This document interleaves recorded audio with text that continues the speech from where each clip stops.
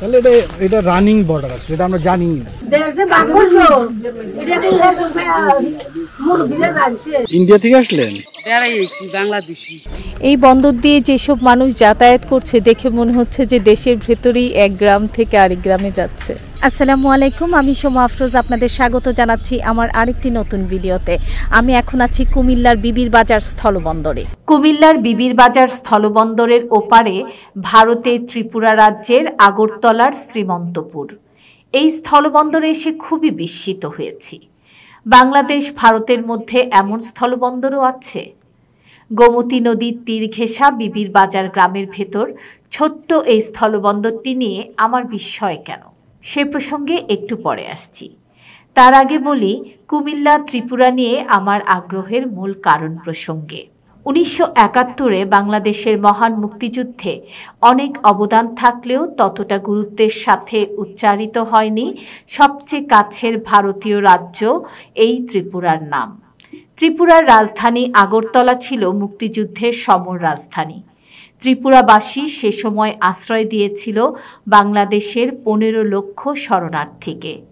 ত্রিপুরাবাসী যে মানবিকতার উদাহরণ সৃষ্টি করেছিল তা পৃথিবীর ইতিহাসে বিরল। ত্রিপুরার নয়শো সতেরো কিলোমিটার সীমান্তের আটশো উনচল্লিশ কিলোমিটার বাংলাদেশের সঙ্গে। মুক্তিযুদ্ধের সময় ভারতের প্রধানমন্ত্রী ইন্দিরা গান্ধীর নির্দেশে তখনকার ত্রিপুরার মুখ্যমন্ত্রী শচীন্দ্রলাল সিংহ সেখানকার সবগুলো সীমান্ত খুলে দেন। একাত্তরের এপ্রিলের পর থেকে সেখানকার সাড়ে পনেরো লক্ষ মানুষের সাথে যোগ হয়। পূর্ব বাংলা থেকে আশ্রয় নেওয়া আরও পনেরো লক্ষ মানুষ। আগরতলা সহ বেশ কিছু শহরে পাকিস্তানিদের কামানের গোলায় এবং পুঁতে রাখা মাইনে মারা যায় ত্রিপুরার অসংখ্য মানুষও।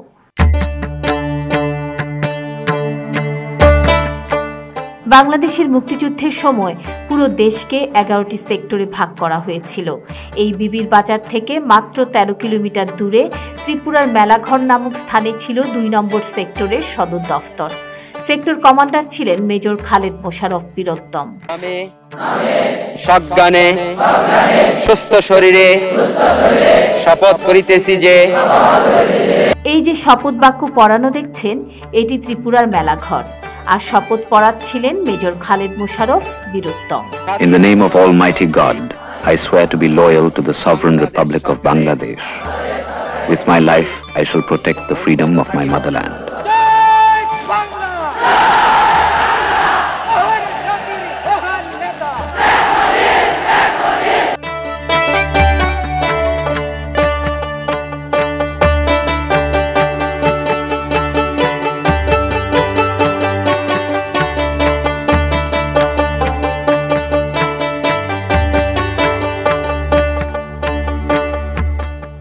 আসলেই কুমিল্লার নাম ছিল একসময় ত্রিপুরা। ভারত ভাগের অনেক পরে উনিশশো ষাট সালে ত্রিপুরার বাংলাদেশ অঞ্চলের নাম হয় কুমিল্লা। আরও পরে উনিশশো একাত্তর সালে মহান মুক্তিযুদ্ধের পর বাংলাদেশ স্বাধীন হওয়ার পরও কিন্তু ত্রিপুরা আর কুমিল্লার মাঝে সীমান্ত বলে তেমন কিছু ছিল না। দুই দেশের সীমান্ত জুড়ে আছে গ্রামের পর গ্রাম। এসব এক গ্রামের সাথে অন্য গ্রামের মানুষদের মাঝে হতো বিয়ে। কত আত্মীয়তার বন্ধন ছিল, অবাধ যাতায়াত ছিল, যাদের ভাষার আঞ্চলিক টানও কিন্তু একই রকম। তখনও এ অঞ্চলের মানুষেরা ত্রিপুরা আর কুমিল্লাকে দুদেশের অংশ ভাবতে পারত না। কিন্তু ধীরে ধীরে বাধা হয়ে দাঁড়াল দুদেশের সীমান্তরক্ষী বাহিনী। বাধা দিতে থাকল দু গ্রামের বাসিন্দাদের অবাধ যাতায়াতে। আরও পরে সীমান্তে হলো কাটাতারের বেড়া। ব্যাস, একদম আলাদা হয়ে গেল একই গ্রাম ও প্রতিবেশী গ্রাম। এখন দেখা হওয়া তো দূরের কথা, পাসপোর্ট, ভিসা ছাড়া আসা যাওয়াই করা যায় না। অথচ কারও স্বামীর বাড়ি ত্রিপুরা বাবার বাড়ি কুমিল্লা। আবার কারও স্বামীর বাড়ি কুমিল্লা বাবার বাড়ি ত্রিপুরা। শুধু কি তাই? আপন দুই ভাই বা আপন দুই বোন দুদেশের ভূমিতে। তারা কোনোদিন স্বপ্নেও ভাবেনি এরকমটা হতে পারে। এ অঞ্চলের মানুষদের যাতায়াতের সুবিধার জন্যই দু সালে ওপেন হয় এই বিবির বাজার স্থলবন্দর। এই লোক আসা করে না? হাজার হাজার লোক। আর ট্রাক আছে ট্রাক আছে না? আছে তো। তাহলে এটা এটা রানিং বর্ডার আছে এটা আমরা জানি না। সচরাচর আমরা ভারতের ত্রিপুরা রাজ্য যেতে আখাউড়া স্থলবন্দর ব্যবহার করে থাকি, কিন্তু এছাড়াও আরেকটি কুমিল্লার স্থলবন্দর রয়েছে, সেটা হচ্ছে বিবির বাজার। ছোট্ট একটা স্থলবন্দর, গোমতী নদীর পাশ দিয়ে যে বাঁধটা চলে এসেছে, এই বাঁধের শেষ মাথায় স্থলবন্দরটি। এখন শীতকাল, তাই এ পাশে নদী শুকিয়ে গেছে, ধান ক্ষেত। খুব সুন্দর একটা পরিবেশের মধ্যে ছোট্ট একটা স্থলবন্দর গ্রামের ভেতরে। একদম গ্রামীণ পরিবেশে এই স্থলবন্দরটা মানুষজন তেমন নেই।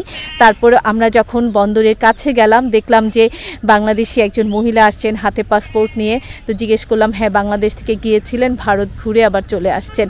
আবার একজন ভারতীয়কেও আসতে দেখলাম। তারপর এখানকার লোকজনের সাথে কথা বলে যেটা জানলাম যে, না, এখান দিয়ে প্রতিদিন অনেক মানুষ যাতায়াত করে। এখান পাসপোর্ট ভিসা সহই মানুষজন যাতায়াত করে। এছাড়া পণ্য আমদানি, রপ্তানি এই বিবির বাজার স্থলবন্দর দিয়েও হয়ে থাকে। ছোট্ট এই স্থলবন্দরটির শুরুতেই রয়েছে land custom station BJP checkpost. ভাই কি যাত্রী ইন্ডিয়া থেকে আসলেন? এদিক থেকে আসা যাওয়া করা যায়? ভিসা থাকতে। আপনি কি ইন্ডিয়ান ও এখানে আসলেন ইন্ডিয়া থেকে আসলেন? বাংলাদেশি। বাংলাদেশ। পাসপোর্ট লাগে না? হাঁটতে হাঁটতে চলে এলাম বাংলাদেশ সীমান্তের একদম শেষ প্রান্তে। আমার পেছনে দেখছেন যাত্রীদের চেকিং পয়েন্ট। আর এই যে এটা হলো ত্রিপুরার স্থলবন্দর। এই স্থলবন্দরটা ঘুরে দেখে যেটা মনে হলো যে এই বন্দর দিয়ে যাতায়াত করা খুব একটা কমপ্লিকেটেড না। একটু পরপর এক একজনকে আসতে দেখছি এবং চলে যেতে দেখছি। তেমন কোনো ঝামেলা মনে হচ্ছে না। এই বন্দর দিয়ে যেসব মানুষ যাতায়াত করছে, দেখে মনে হচ্ছে যে দেশের ভেতরেই এক গ্রাম থেকে আরেক গ্রামে যাচ্ছে। স্থলবন্দর সামনেই অনেক অটো দাঁড়িয়ে আছে। যারা আসছে এ পাশে তারা একে একে অটোতে উঠে চলে যাচ্ছে। আপনারা কি ইন্ডিয়া থেকে আসলেন? বাংলাদেশের মানুষ? ইন্ডিয়ার মানুষ। ইন্ডিয়ার মানুষ আপনারা?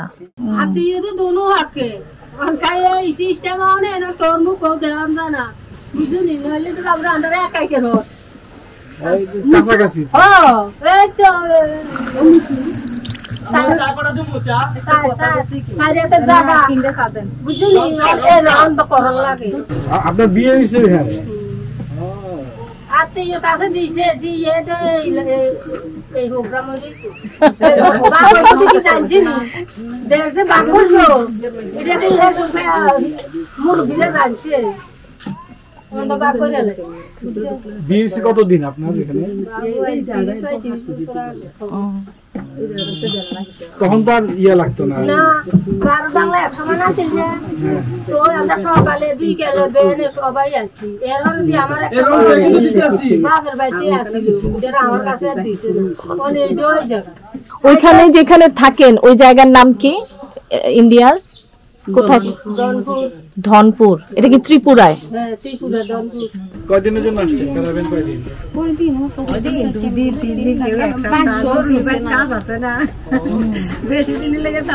ভিসা দেয় কত দিনের ভিসা কত দিনের দিচ্ছে? ও আচ্ছা। তাই তো অনেক যতবার। কালকে এলেন অসুবিধা নাই। আবার দুই মাস পরে আইয়েন এক মাস পরে আইয়েন এটা মানে এক মাসের আচ্ছা।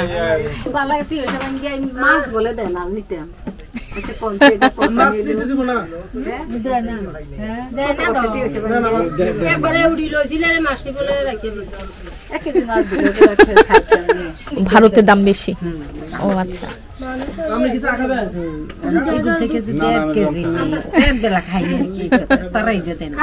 আপনারা তো তিনজন এখন ওইখানেরই নাগরিক মানে ভারতের নাগরিক কিন্তু আসলে তো বাংলাদেশেই ছিলেন আগে আজকে ছুটির দিন তাই এই স্থলবন্দরে যত না যাত্রীর ভিড় তার চেয়ে বেশি ভিড় হচ্ছে সাধারণ দর্শনার্থীদের প্রচুর মানুষজন আছ- আসছে ঘুরছে দেখছে ছবি তুলছে এই বাচ্চারা সবাই এখানে বেড়াতে এসেছে, স্কুল থেকে টিচারের সাথে। অনেক স্কুলের ছাত্রদেরকে দেখলাম এখানে ঘুরতে এসেছে।